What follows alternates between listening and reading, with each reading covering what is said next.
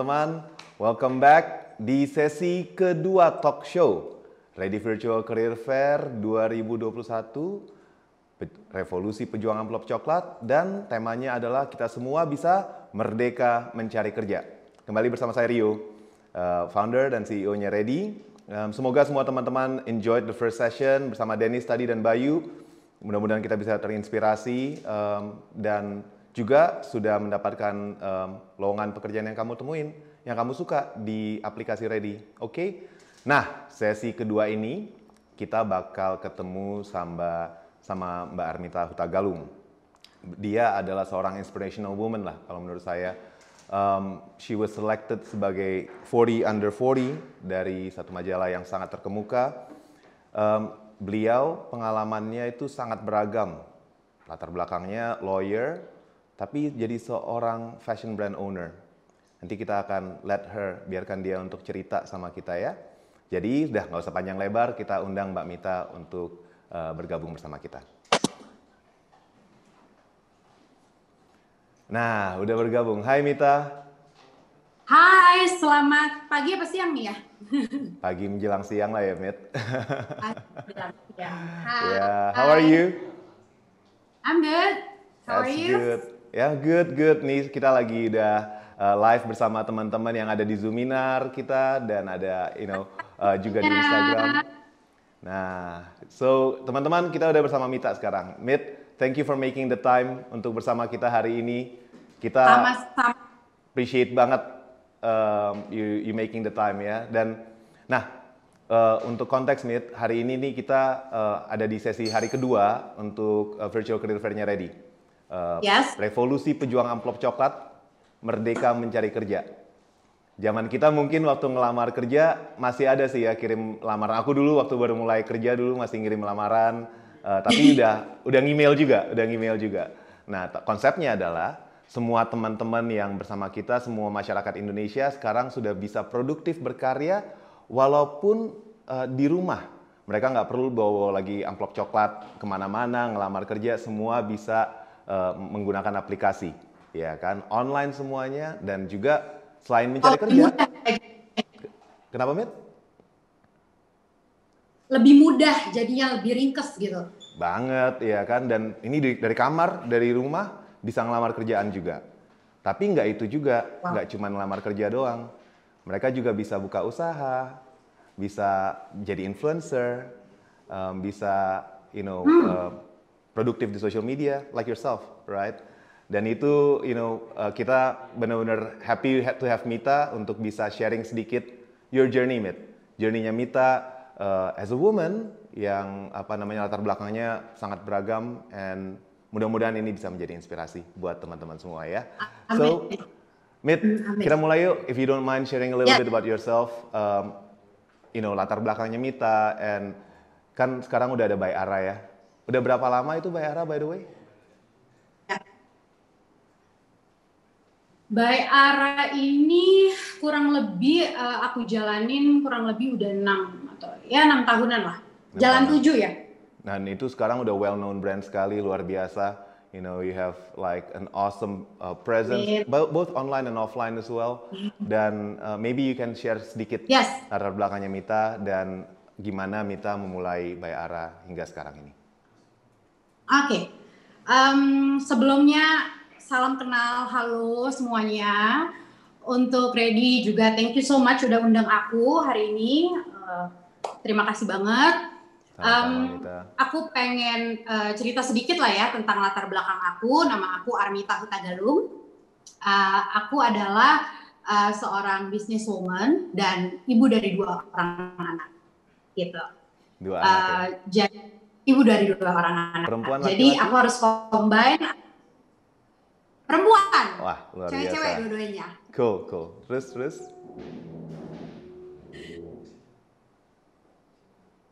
So ya tentunya eh, untuk menjalani bisnis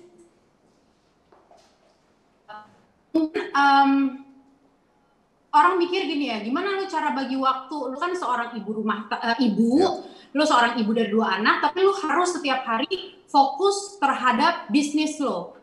yeah. which is uh, bisnis yang aku bangun sendiri bersama adikku di luar usaha keluarga. Oke. Okay. Aku lahir okay. di uh, keluarga pembisnis. Oke. Okay. Yep. Aku lahir lahir di uh, keluarga pembisnis yang jadi latar belakang aku memang udah ada darah bisnis dari dulu gitu. Oke. Okay.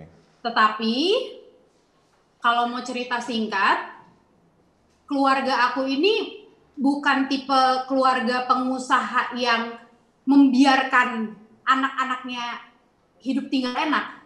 Hmm, Jadi okay. saya memang dari kecil sudah dikasih uh, tahu sama almarhum ayah saya untuk lu harus persiapkan diri kamu karena kamu nggak akan ada di sini. Ketika kamu sudah lulus, ketika kamu sudah selesai uh, menuntut ilmu, kamu harus keluar.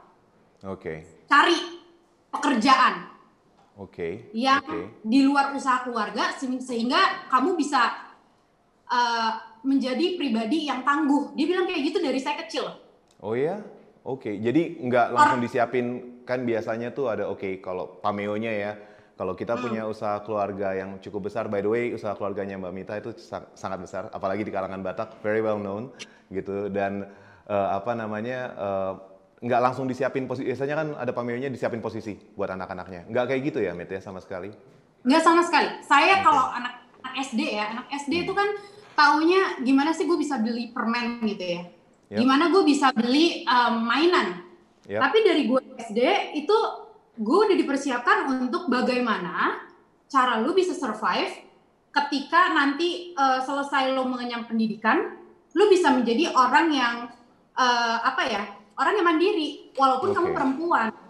Okay. Gimana caranya? Gue nggak mau tahu kata almarhum bapak saya. Itu dari saya kecil. Jadi dalam otak saya tuh dari kecil emang udah udah dagang. Gue yeah, pernah yeah. jualan es mambo karena gue nggak pernah dikasih uang jajan sama bapak gue ini. Ya? Jadi, jualan es mambo, beneran? Jualan es mambo oh, dari kecil. Nah tuh teman-teman relevan tuh. Pasti nih ada di antara kita kita yang pernah jualan apa kayak es atau snack gitu nih yang dengerin nih. Nah terus terus gimana tuh? di, kayaknya di sekolah. Kan ngeliat, kayak, kayaknya kan orang kesannya ngelihat hidup gue tuh kayaknya wah udah, udah nih udah nih cewek udah tinggal hidup enak. Hmm. Ya meanwhile uh, itu uh, cara ayah saya yep. yang membuat saya hidup enak sekarang. Yap, yap, yap. Jadi bukan saya dimanjain dengan nih, nih, nih enggak, sama sekali yep. enggak. Yep. Jadi saya dari saya kecil pun saya saya udah diajarin bagaimana caranya berjuang ketika saya um, mengenyam pendidikan yang tidak relate dengan uh, pekerjaan saya sekarang itu juga salah satu apa ya pelajaran yang yang memang dilepasin sama ayah saya jadi harus punya pengalaman sendiri lu jangan pengalaman lu dari bisnis keluarga lu yang besar karena ketika uh, saya saya pernah nanya apa kenapa sih tega banget gitu ya kenapa sih tega banget untuk uh, yang mendidik kita tuh seperti ini gitu. Keras banget gitu ya. Keras banget. Minimal yeah, gue kan yeah. anak cewek, harusnya ya you treat me like a princess lah gitu. Dikit paling enggak gitu ya. Bayangan anak perempuan, bayangan yeah, anak yeah, perempuan. Iya, iya, bener bener. Tetapi Terus? Tetapi uh, apa namanya dia bilang kalau lu nggak tahu susahnya bagaimana mencari kerja gitu yeah. atau mendapatkan sesuatu yang lo inginkan, lo akan menjadi anak manja dan lo akan menggampangkan semuanya. Nah okay. makanya kalau dari dulu gue udah tahu ada ready begini ya gue nggak usah susah-susah sih sebenarnya. Mantap banget segue-nya. Thank you, Mit. Ada sedikit selipan promosi teman-teman. That's good. Kalau dari dulu gue udah tahu ada kayak ready begini kan gue nggak usah susah-susah payah untuk kayak gimana udah tinggal enak. Uh, apa maksudnya ya ngelamar kerjanya gampang ya Mit ya? tinggal online. Tapi ya sayangnya gue memang harus melewati itu nggak apa-apa. Yep So ya itulah yang uh, latar belakang sedikit uh, yeah. dari cerita aku yang membuat aku ada sampai sekarang gitu. Karena uh, uh, ayah saya bilang kalau misalnya saya ada di perusahaan itu ya misalnya contoh gitu ya level manager atau direktur atau yep. apa ya pasti akan nggak bisa nolak juga apa yang saya mau gitu kan. Jadi yeah. ya semena-mena. Tetapi ketika kita profesional, ketika nanti saya ready, yeah. ketika memang itu sudah sudah waktunya, ya ketika bapak saya bilang ketika itu udah waktunya dan kamu ready dan kamu mampu, yeah. baru. Tapi kalau enggak, jangan mimpi, lo nggak akan nggak akan ada di situ gitu. Dan saya juga nggak peduli mau ada di situ atau enggak I ha I have my own business. Dan itu yang membuat saya tidak terikat apa pun itu even bisnis bisa juga. I see. Jadi like your dad your, uh, papanya Mita itu expect kita untuk Mita untuk membuktikan diri dulu lah ya. Dan sekolah dulu yeah. di luar basically sekolah dengan kerja di luar mengalami asam garamnya kehidupan istilahnya gitu kan jadi yeah. you're strong dan udah siap untuk ngejalanin usaha tapi ini interesting sebelum kita bicara uh, lebih lanjut tentang papa ya Mit karena I see it as an inspiring yes. figure in your it seems to be in your life karena tadi di awalnya papa banyak menginspirasi Mita kayaknya on how to do life ya Mita ya kayak gitu kan kayaknya seluruh hidup aku terinspirasi sama dia sih awesome awesome but before we talk yeah. about that further um, kan tadi Mita yeah. bilang latar belakang uh, pendidikan dengan apa bidang yang Mita pekerjakan uh, kerjakan sekarang itu berbeda, gitu kan? Nah banyak nih ya dari kemarin waktu kita bikin uh, sesi, bahkan waktu aku jadi pembicara di salah satu uh, kampus yang mendukung kita Kalbis Institute, gitu. Jadi aku waktu itu ada bikin mm -hmm. seminar dengan uh, mahasiswa Kalbis dan alumni alumninya gitu ya. Dan pertanyaannya gini mm -hmm. banyak hey uh, bisa nggak sih Mas Rio gitu uh, kalau kita tuh ngelamar kerjaan yang berbeda dengan bidang pendidikan kita dan apakah kita bisa sukses di bidang pekerjaan itu gitu. Nah, Mita nih a clear example of that, right? Um, kalau nggak salah hukum yeah. dulu, tapi aku nggak nggak usah mungkin biar Mita yang ceritain latar belakang pendidikannya juga. Gimana caranya? Eh, tapi nggak apa-apa kalau ceritain juga. Nggak apa-apa biar Mita aja. Jadi kalau gimana latar belakang, gimana caranya Mita uh, dari yang latar belakang pendidikan berbeda itu bisa sukses di satu industri yang sebenarnya nggak ada relevansinya ke uh, ke latar belakang pendidikan itu gitu. Oke, okay. jadi uh, thank you ya Rio untuk pertanyaannya. Sure. Jadi uh, um, sebenarnya aku ada di dalam dunia hukum Uh, maksudnya aku tetap syukuri karena itu menjadi basic juga uh, dalam uh, usaha kan pasti harus ada kita harus tahu segala hal gitu. Bukan hanya tentang misalnya aku di bidang fashion industry terus aku hanya tahu ya gimana sih fashion itu. Bukan hanya itu kan tetapi Jadi, kalau dulu kita benar hukum ya? Kuliahnya hukum dulu ya? Ya benar. Di mana? Di mana dulu kuliahnya? Di UI oke okay, oke okay, sip sip. Terus habis itu so kita harus pelajarin semuanya si terus? Oke. Okay. jadi kan uh, kalau um, kamu mau ngelit sesuatu bidang, yeah. Ya. uh, mau menjalankan sesuatu bidang, kamu nggak bisa hanya uh, tahu misalnya contoh fashion industry, lu tahu cuman bahan yeah. sama produksi aja. Oh no, yeah. lu harus tahu semuanya, lu harus bisa finance juga lu jago dari segi hukum lu misalnya kita ada kontrak sama orang kita juga harus amatin dengan cermat dari segi marketing juga kamu harus kuasain semuanya kalau okay. mau uh, apa namanya memimpin sesuatu hal gitu. Bukan okay. hanya jago di satu aja, tetapi harus menguasai, at least tahu yep. segala bidang. Nah, uh, tadi pertanyaan Rio, bisa nggak kalau misalnya uh, kita ada di bidang yang berbeda, tetapi kita pengen uh, masuk ke dunia usaha yang berbeda juga gitu ya? Persis lah kayak Mita sekarang. Latar belakang hukum, kerjaannya fashion. Uh.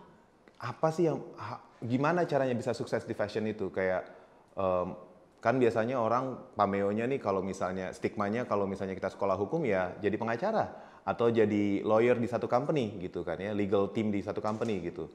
Kok bisa pivot langsung jauh banget mit gitu? Dan gimana caranya? Gimana caranya gitu? Oke okay. jadi gini uh, dari aku kecil gitu ya uh, kebetulan ibu aku itu memang uh, berkecimpung di dunia fashion. Dia sekolah fashion okay. dulu gitu ya. Jadi di depan kita tuh anak-anaknya kita melihat bagaimana cara dia men-sketch gambar, bagaimana dia um, apa ya namanya menjahit di depan kita gitu dan itu okay. membuat aku tertarik. Secara tidak langsung itu menjadi passion saya, menjadi okay. ketertarikan saya. Okay. Walaupun uh, nggak nggak saya kayak seriusin banget kayak pengen tahu banget dong apa pada saat itu karena kan dari kita kecil ya. Yep. Lalu ketika saya masuk kuliah gitu, yep. um, biasalah stigma orang di zaman itu yep. menganggap fashion itu mungkin adalah bidang yang biasa saja, yep. tidak terlalu ber seperti bidang-bidang lainnya. Yep, gitu. yep. Jadi mungkin pada saat itu fashion dipandang sebelah mata. Yep. Jadi saya juga ya udahlah gitu ya, namanya juga uh, nurut-nurut aja. Ya udah yang diterima yang mana? Gue waktu itu milih ekonomi yang pertama, Oke. gue nggak diterima. Ya, gue Oke. diterimanya yang hukum. Hukum, oke, Jadi oke. masuk ke situ gitu Iya, kan. iya, iya, noted, noted. Zaman itu namanya apa sih? SPMB ya? Eh apa, apa ya? Nah, UMPTN ya? UMPTN ketahuan dong ya jadi umurnya ya. Iya, kita seangkatan makanya waktu zaman kita belum ada ready soalnya. terus terus. And then, Nah. oke, tapi kan namanya eh, adalah suatu kewajiban ya kita harus selesaikan gitu. Nah, Hmm. selesai dari situ gitu, saya memang tidak ada, eh, maksudnya untuk niat terjun di dalam, saya nggak bilang eh, dunia hukum itu eh, bagaimana, tapi memang mungkin bukan passion saya. Yap. Dunia hukum itu bagus banget, tetapi bukan bukan passion saya. Eh, Oke. Jadi jadi jadi em, saya nyari nih Yap. gue gue tahu da- di darah gue itu memang darah bisnis gitu gue nggak Ya. bisa keluar dari situ Yap. jadi apa kira-kira saya pengen nunjukin juga sama keluarga saya gue bisa bikin sesuatu hal karena gue gue suka tantangan dan gue nggak suka ditantang Yap. jadi kan dari gue kecil gue disuruh bilang gue di dibilang disuruh cari lah ibaratnya lahan saya sendiri gitu kan. Yap, nah, saya yap. cari nih jati jati diri gue itu sebenarnya apa, Yap. passion gue apa walaupun tidak relate dengan bidang pendidikan yang saya jalani. Oke. Ternyata saya kulik-kulik lagi, saya Yap. tahu bisnis yang saya uh, gemari itu adalah fashion, fashion industry. Kenapa? Karena fashion itu adalah sesuatu bidang yang menantang buat saya. Saya nggak suka sesuatu hal yang monoton. Yap. Yap. Di dalam dunia fashion, nggak ada yang namanya monotonisme tuh nggak ada. Yap. Fashion itu adalah sesuatu hal yang selalu berubah, yang selalu uh, bergerak dengan cepat. Yang, uh, yang di mana kalau kita nggak ngikutin perkembangan zaman atau trennya, itu ya kita bisa mati kutu gitu. Yap. Nah, gue suka tantangan itu. Saya suka segala sesuatu ya hal yang challenging saya suka. Nah, makanya itu saya uh, mantepin diri saya untuk gue kayaknya mau masuk dunia ini gitu. Terjun bebas dan nggak look back ya, nggak ngelihat belakang ada penyesalan, oh mikir-mikir lagi nggak boleh ya. sekali saya um, membuat suatu keputusan atau saya terjun di dalam uh, sesuatu hal itu no turning back buat saya. Yap. Mau Yep. ada challenging, mau ada tantangan, ya itu akan saya jalanin nyemplung-nyemplung sekalian gitu. Thank you banget, Mit. Jadi kalau aku boleh rekap nih sebelum ini ada banyak chat di Zoom, nanti kita bahas sedikit aja yang uh, pada komentar di Zoom. Tapi kalau yang Mita tadi uh, mention gitu ya, berarti pertama-tama cari tahu passion kita apa, ya kan? Jadi Ya. apa yang kita benar-benar uh, minati banget kalau dan memang kita lihat itu produktif, ada demand-nya, ada orang yang pingin beli fashion, ada ya pastilah ya semua orang perlu sandang, ya kan? Uh, Yes. Lalu uh, kemudian ap- jadi apakah itu bisa produktif? Terus kedua, ya pertama-tama latar belakang kita hukum itu tadi uh, waktu kita kuliah ya itu menjadi ini aja uh, apa ya kayak pegangan kita dan pelajaran itu pun kita gunakan untuk mempelajari industri fashion itu dari sisi kontrak-kontrak kali ya Mit. Jadi kamu Mita tahu bener nih gimana cara ber you know dealing dengan other companies karena pasti ada kontraknya juga dan seterusnya. Jadi kita gunakan juga itu yang kita pelajari di dalam bidang yang kita geluti dan kerja keras, jangan ngelihat ke belakang, no regrets, harus fokus di situ. Dan um, I'm sure Mita juga belajar industri itu sendiri ya. You did self learning pasti tentang industri tersebut ya. Yes, sebenarnya Rio kalau boleh aku ada tambahan satu lagi sih Sure. biar orang juga bisa apa ya mm, lebih tahu gitu loh apa sih kira-kira em, caranya lagi gitu loh. Nah Sure. kalau aku kenapa aku masuk ke dunia fashion gitu, Yep. tentunya dari segi eh, wirausaha gitu ya, aku melihat peluang, kesempatan Nice. aku Yep. ya, yang namanya eh, apa ya yang namanya seorang businessman atau Yep. businesswoman gitu ya Yep. itu dia harus jeli banget untuk melihat kesempatan atau opportunity opportunity gitu Sure. nah pada saat aku menjalani mau menjalani bisnis fashion gue melihat fashion ini bukan hal yang kecil. Sure. Fashion ini hal yang besar kalau kita mau uh, dalam gitu Yep. menyelaminya dan kita bisa uh, apa namanya uh, pandai melihat peluang. Kalau kita bisa pandai melihat peluang, ini pasti usaha ini akan berkembang bukan berkembangnya gitu aja ya, tapi berkembangnya bisa bisa pesat. Nah, karena aku ya. lihat peluang, ya, karena aku lihat ada peluang, nih bisnis fashion nih nggak pernah mati. Yep. Coba kita lihat deh dari zaman dulu. Yep. Bi- Bisnis fashion itu ya, ya gimana ya, nggak pernah nggak ada matinya gitu. Yep. Dia nggak nggak pernah mati. Jadi menurut gue ya udahlah ya. Ini ini ini uh, uh, bisnis yang menjanjikan. Kenapa saya tidak terjun di dalam bisnis ini? Kebetulan saya juga uh, punya passion lebih dalam dunia ini. Ya, makanya saya menjalani. Sure. So teman-teman bukan hanya passion aja tapi harus pintar untuk melihat peluang. Peluang. Yap, dan Yes. itu harus cari industri yang benar-benar atau um, produk atau jasa yang benar-benar orang membutuhkan sehingga kita juga kalau kita jadi pengusaha harus bisa bikin itu jadi kayak kata Mita tadi uh, exponentially lebih besar. Tapi Mit itu juga applicable sebenarnya untuk di professionals, orang bekerja gitu. Jadi Iya. kalau misalnya mereka pun misalnya mau kerja di uh, industrinya Mita gitu. Jadi apakah itu kerja di Bayara? Who knows, right? Ada teman-teman di sini yang mau ngelamar kerja di Bayara one day gitu. Nah, walaupun bidangnya bukan fashion, asalkan kita kayak Mita bilang, lihat peluang apa di perusahaan, apa yang dibutuhkan perusahaan, misalnya apa yang dibutuhkan by Ara, dan itu kita mengisi kebutuhan itu, Ya. kita persiapkan diri kita dengan kemampuan-kemampuan yang bisa mengisi kebutuhan itu secara baik sekali, secara luar biasa. Because I saw your design mate gitu ya, uh, and itu kayak very kayak very exclusive gitu. Padahal uh, apa poinnya tuh marketnya cukup luas, it's really good, right? Dan I think that's the segment that you are trying to uh, service as well gitu. Sebagai profesional kita juga bisa gitu, ya teman-teman semua ya. Jadi um, kita bisa melengkapi, memperlengkapi diri kita dengan kemampuan-kemampuan yang semudah mungkin lah. Bahkan kalau misalnya di Bayara fashion industry pasti butuh administrasi pembukuan, pasti mit, ya kan? Pasti ada orang adminnya. Jadi siapin diri dengan Excel, siapin diri dengan uh, pelatihan ini apa kemampuan untuk bikin uh, rip- uh, laporan pembukuan dan seterusnya. Di situ kita bisa masuk ke industri itu dan sekalian belajar dari uh, owners-ownersnya kayak Mita. Nah, ada beberapa nih yang komentar nih di uh, chatnya nih. Jadi ada yang bilang pengalaman kerja manajer di Superindo selama 2 tahun 4 bulan di umur 27 tahun. Apakah ada kesempatan berkarir sebagai professional manager sedangkan kebanyakan persyaratan bekerja maksimal 25 tahun? Nah, ini pertanyaannya basically kalau saya ini 27 tahun gitu kan umurnya. Nah, sementara manajer tuh professional manager umurnya rata-rata 25 tahun. Nah, dia ingin tahu bisa nggak sih walaupun umur saya udah lebih daripada batasan umur yang normal, gue masih bisa kerja di tempat itu atau di posisi seperti itu. Menurut Mita gimana? Apakah umur itu menjadi batasan untuk bekerja? Oke. Kalau Mita mencari pekerja di Bayara misalnya, apakah itu menjadi batasan? Oke. Tentu eh, apa namanya kalau kalau aku ya, aku Yap. kan maksudnya eh, eh, maksudnya aku seleksi juga setiap orang misalnya contoh eh, yang mau bekerja.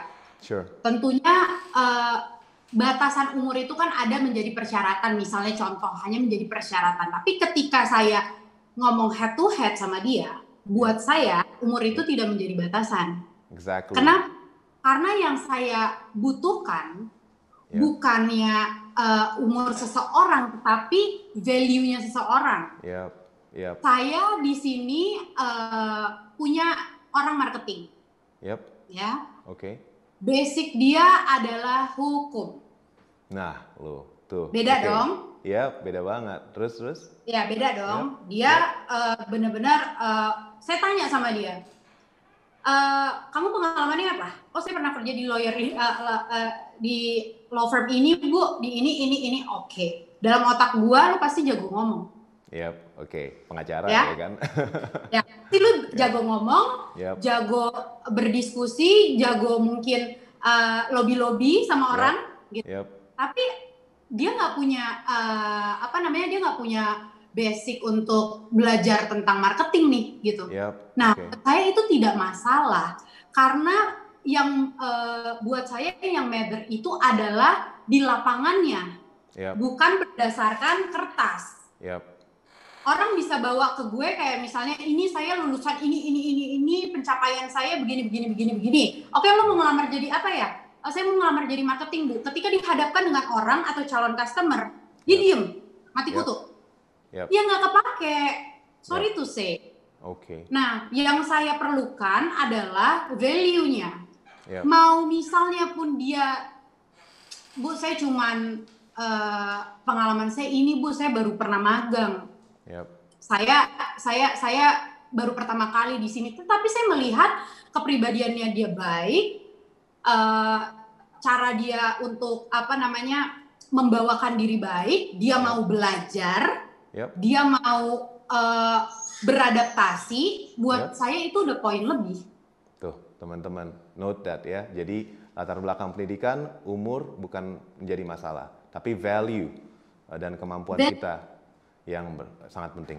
Mit, waktu kita tinggal sedikit. Masih banyak sebenarnya pertanyaan yang udah bikin list question. Udah nih segini aja, padahal gue udah siapin. Nanti kita Kira kudu tadi tiga jam. kita kudu bikin sesi lagi. Cuman ada satu pertanyaan terakhir nih. I wanna hear. Yes. Kita semua mau dengar tentang uh, figur seorang ayah yang menjadi inspirasi. Pertanyaannya yang di catatannya, contekannya mestinya siapa yang paling menginspirasi buat Armita Hutagalung? Katanya gitu. Cuman kayaknya udah dijawab tadi kan. It's your dad, ya, your papa, right? Bisa nggak cerita sedikit tentang uh, figur ayah dan almarhum ayah dan uh, apa saja poin-poin yang Mita ambil menjadi inspirasi dan itu diterapkan saklek you do it in your life sebagai seorang wanita yang seorang pebisnis yang banyak kan pebisnis juga di Indonesia eh, apa namanya ya baik laki-laki perempuan ada juga banyak sekarang eh, women leaders di Indonesia sekarang kan ya which is great gitu. What are uh, those principles yang Mita ambil sebagai inspirasi dari Papa? And ceritakan sedikit tentang Papa, uh, uh, latar belakang Papa. Gitu. Oke. Em, buat eh, aku pribadi ya, kalau ngomongin papa aku tuh nggak ada habisnya ya. Ya. Karena buat aku dia bukan hanya seorang ayah, Ya. tetapi dia almost aku pribadi yang mencangkup segala hal dia dia bisa menjadi mentor saya dia bisa menjadi sahabat saya dia bisa menjadi guru saya ayah saya semua ada di dia Sure. kenapa saya nggak usah susah-susah mencari eh, role model gitu ya ke Ya. orang lain itu eh, orang hebat di luar negeri nggak nggak nggak saya nggak usah susah-susah Ya. orang itu udah depan mata saya selama 30 tahun mengajarkan saya tentang hidup yaitu ayah saya. Kenapa saya lihat dia tuh begitu respect sekali gitu? Karena ayah saya ini adalah seorang pribadi yang eh, sebagai misalnya contoh kalau kita lihat dalam dunia kerja, dia adalah seorang pembisnis yang benar-benar menjadi panutan, bukan hanya untuk anak-anaknya saja, tetapi untuk keluarga besarnya. Dia di depan mata saya dari saya kecil, bagaimana cara dia memperlakukan orang lain, memperlakukan karyawan, mulai dari karyawan yang tertinggi sampai yang ya paling eh, bawah itu dia Ya. treat sama Sure. dia treat tuh bener-bener dengan full or full or respect gitu. Jadi gue kayak ngelihatnya ini orang luar biasa ya. Ketika dia menghadapi tantangan, bukannya dia pusing gitu, dia malah senyum, dia malah ketawa. Ketika anak-anaknya melihat satu tantangan, pasti dia ketawa. Dengan ledekannya yang kayak gitu aja loh. Nyerah, Iya, iya, iya. bangkit lagi dong Iya. ah cemen loh misalnya kayak gitu ya cemen kamu gitu aja diketawain mungkin dalam hati dia nih anak gue bisa nggak ya tapi karena begitu ya saya jadi terpacu gitu nah ada pepatah dia yang mengatakan dia bilang sama saya Mit tiga hal kamu harus ingat. Daya tangkap daya ingat daya cipta. Tangkap sesuatu hal yang baik ingat dan ciptakan di tempat kamu berada. Ketika saya ada di mana pun, Rio, mau gue ada dalam keadaan apa pun, ketika saya melihat sesuatu hal, mungkin itu hal kecil buat orang lain ya. Misalnya saya lagi ada di jalan, saya ngelihat ini eh, bagus nih. Yep. ini menjadi ide buat saya nih. Apa pun itu apa pun itu dalam dalam dalam hal luas ya. Itu udah pasti saya bawa diary saya pasti saya catat. Ide Sure. ini ini ini ini ini. Tapi bukan hanya di ide doang. Nanti ketika saya sudah pulang kalau saya lagi ada waktu saya buka lagi tuh catatan saya. Sure. Yep. tadi saya nulis oke gue ciptain di tempat gue berada. Ketika gue misalnya lagi ada di katakan di luar kota atau di luar negeri gue ngeliat satu ide yang gak ada di Indonesia. Gue catet. Yep. gue catet akhirnya sampai gue pulang ke negara gue atau misalnya balik ke tempat saya saya ciptakan. Yep. saya bikin. Nggak Ya. hanya di angan-angan aja. Nah itu itu itu itu kata-kata ayah saya yang membangun saya sih. Yang selalu membuat saya untuk nggak pernah give up karena pasti ada peluang di setiap kesempatan kan ada ada kesempatan di setiap momen gitu jadi apa pun nah buat orang-orang yang mencari kerja gitu ya di sini juga pasti eh, dengan adanya si Ready ini banyak peluang banyak opportunity dan Yap. itu yang harus dicari digapai menurut saya sih seperti itu Thank you banget, Mit. Tiga inspirasi dari Papa tadi mudah-mudahan jadi inspirasi buat kita semua. Kita harus bikin daya, kuatkan daya tangkap kita, daya ingat kita, dan daya cipta. yes Dan itu nggak hanya di saat membuat usaha, tapi saat kita bekerja, kita harus juga bisa mencipta. Kita harus bisa mengingat dan kita harus bisa menangkap apa konteks pekerjaan kita. Thank you banget ya, Mit. Iya. Thank you for making the time. Jangan kapok, nanti kita atur waktu Thank you. lagi yang untuk bikin mungkin Zoominar kelas yang lebih banyak teman-teman, baik itu laki-laki dan terlebih-lebih perempuan bisa terinspire oleh yourself. Thank you banget Mita. Have an awesome day. sure. We'll speak with you soon. thank you Thanks everyone. Sampai jumpa. thank you all Bye. Bye.